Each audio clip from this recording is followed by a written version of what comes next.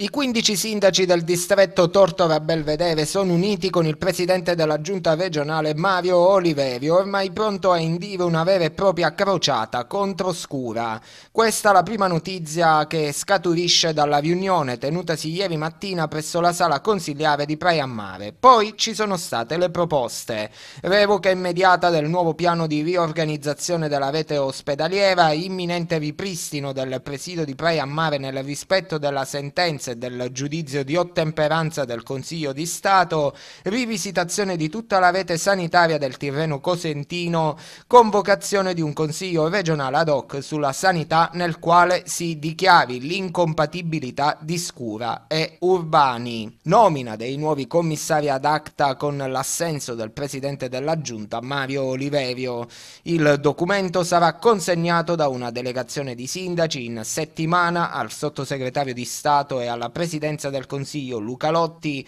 che sarà in visita in Calabria e sarà poi inviato al presidente del Consiglio Matteo Renzi, al ministro della Salute Beatrice Lorenzin, al tavolo interministeriale denominato a Duce, al presidente della giunta regionale Mario Oliverio. Se entro una settimana non ci saranno risposte, mercoledì 16 marzo alle 10 del mattino i sindaci si riuniranno di nuovo nella sala consigliare di Praia Mare per prendere le dovute decisioni. Quella più accreditata rimane la mobilitazione in massa, occupare tutto ciò che si può, ha ribadito più di un sindaco. Infatti, oltre a non ripristinare l'ospedale di Praia Mare, il nuovo piano Scura, che per ora rimane una proposta, porta scompiglio anche nei presidi di Cetraro, Paola e nelle cliniche private convenzionate. Ma ciò che più scandalizza la politica calabrese è che Scura e Urbani nel compilare questo questo atto non abbiano tenuto assolutamente conto del Consiglio regionale, dei medici, dei sindacati